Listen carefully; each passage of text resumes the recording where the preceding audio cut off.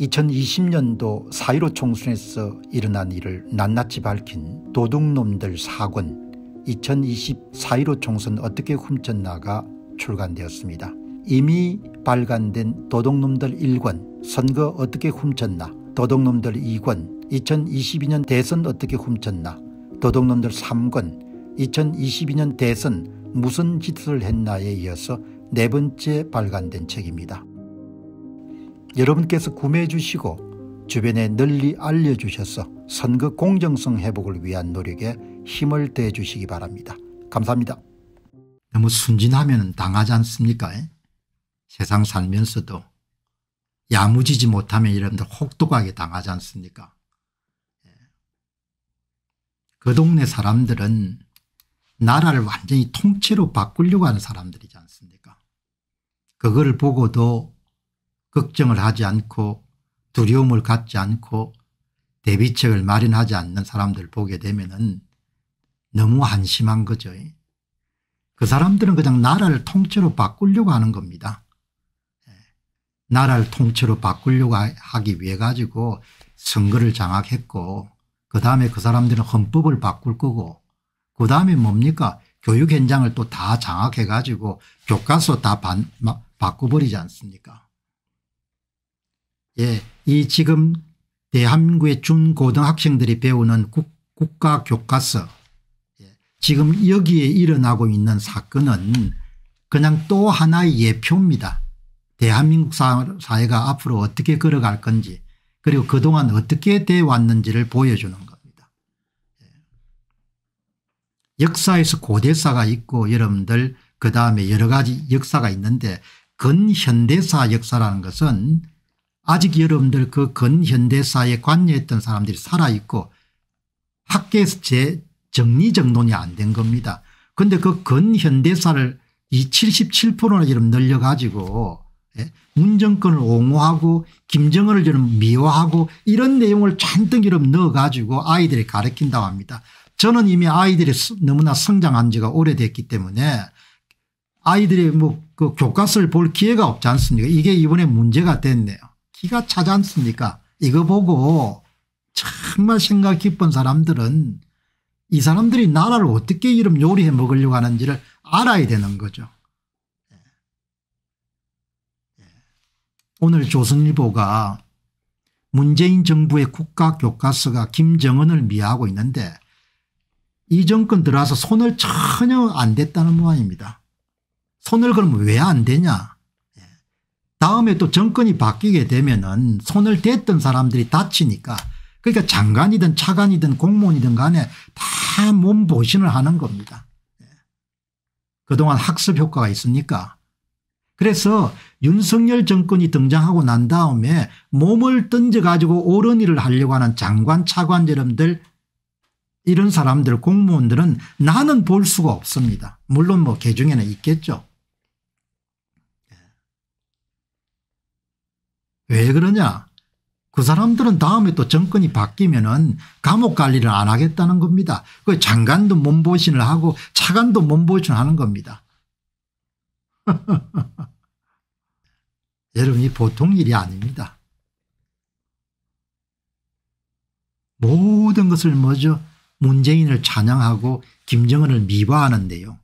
김정은이 3대 세습을 했지만 북한 경제는 좋아졌고 북한 사회에 긍정적 변화가 있다는 식의 내용이 많다. 김정은 등장 이후에 기업활동 자율성은 더욱 확대했다. 개방정책을 펼쳤다. 남북은 종전선에 한 걸음 더 다가갔다 등이 바로 아이들한테 가르치는 내용입니다. 그 동네 사람들은 무자비합니다. 그 동네 사람들이 꿈꾸는 거는 그냥 세상을 뒤엎는 거잖아요. 그래서 중국하고 이러면 속국처럼 살기를 원하지 않습니까 필요하면 중국하게 이러면 나라도 날 넘길 거고 그게 보이지 않습니까 저도 이런 이야기 자꾸 하기가 좀 싫던데 그게 보이니까 어떻게 합니까 공 박사님 긍정적이고 밝은 이야기 좀 하시면 좋겠습니다. 긍정적이고 밝은 이 보이면 나도 긍정적이고 밝은 걸 하는 거죠.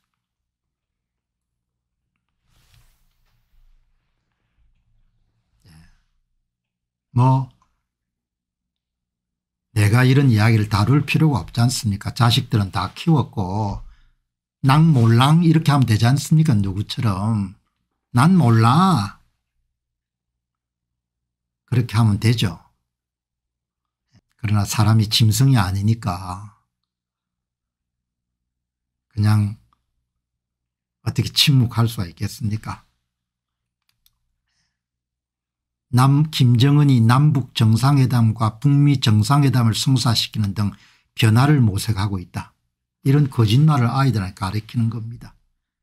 대부분의 교과서가 문재인 정부들은 남북관계가 개선됐다. 2018년 판문점 남북 정상회담이나 두 정상의 부부 동반 백두산 등전 사진을 싣고 있다. 이것은 정권 홍보를 위해 엉터리 내용을 학생들에게 가르치고 있는 것이다. 교과서가 아니라 정치 선동책자다. 조선일보가 교과서가 아니라 정치 선동책자다 이렇게 이야기하는 겁니다.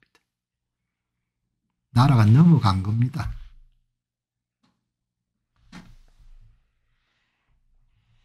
근본적으로 고교 교과서의 근현대사 분량이 75에서 80%에 이른 것은 누가 봐도 납득할 수 없다.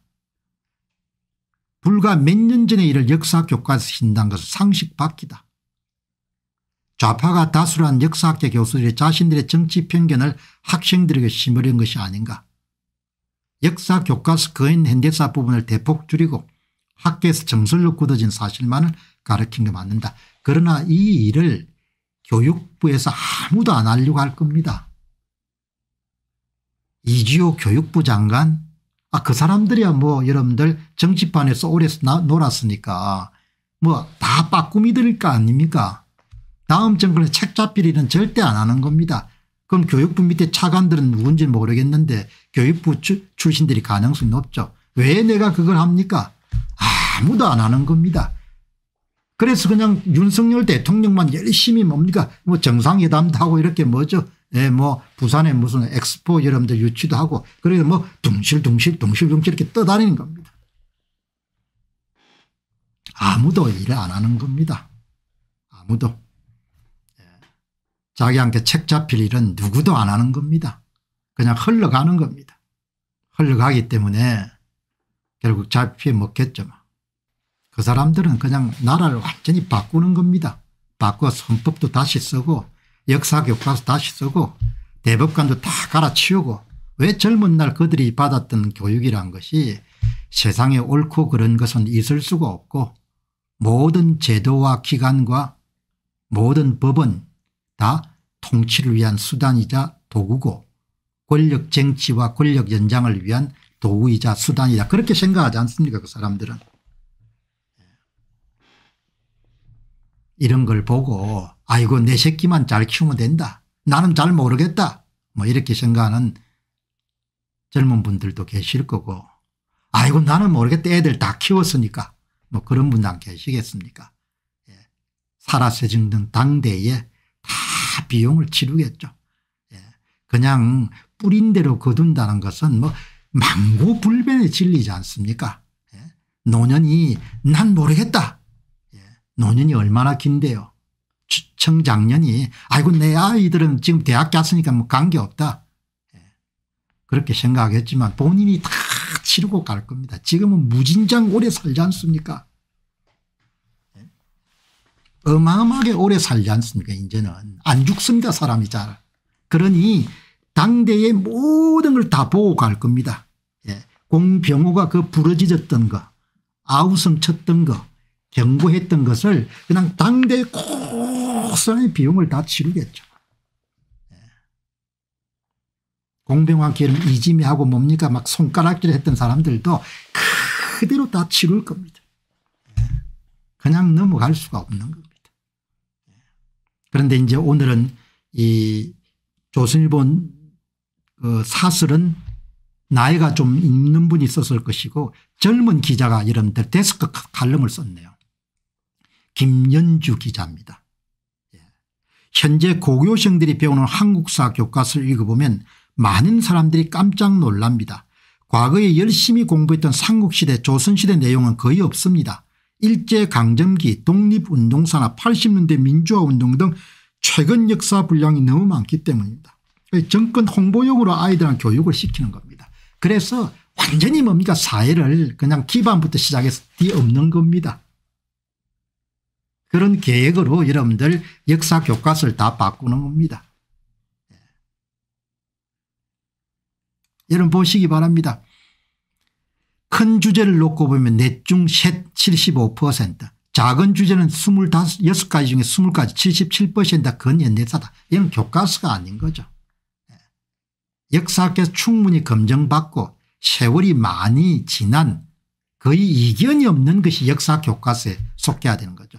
5천년사 한국사 가운데 150남짓한 내용이 77%를 교과서에 차지하는 겁니다. 기가 차지 않습니까 그 비중이 이명박 박근혜 때는 50% 줄었다가 문재인 때는 77% 늘어난 거죠. 그다음에 이 양반들이 장기 집권을 하게 되면 80% 90% 다르겠죠. 본인들이 원하는 대로 하는 사는 사람들이니까.